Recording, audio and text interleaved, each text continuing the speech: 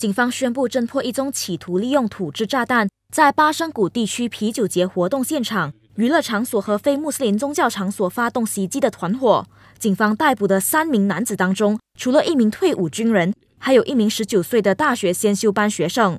全国警察总长丹斯里福兹星期二召开特别记者会，宣布警方十月十号在吉兰丹巴西福地一家餐馆内逮捕一名十九岁大学先修班学生、退伍军人和一名承包商。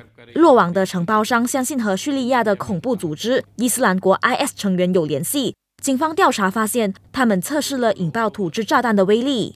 Dan mereka ni kita kesan telah menjalankan ujian, uji kaji terhadap IED ini tadi di kawasan lapang di Pasir Putih Kelantan. Dan pada 28 September 2017, ujian ini telah dibuat. Ujian IED ini tadi dengan menggunakan satu pipe bom. Pipe ni berjaya diletupkan dan satu gas pipe bom juga tapi gagal meletup di belakang rumah mereka. 福兹指出，警方起获的土制炸弹半径三十米，如果在啤酒节活动现场引爆，后果不堪设想。他重申，警方早前以安全理由不准发出吉隆坡啤酒节的准证，并非无中生有。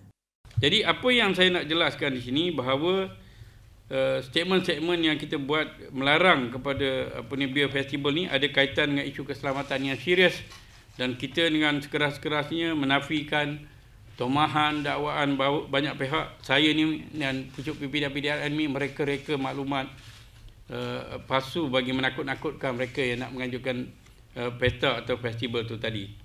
警方也展示在这起反恐行动中起获的土制炸弹六根 PVC 水管。 制造土制炸弹的笔记和多种爆炸物原材料。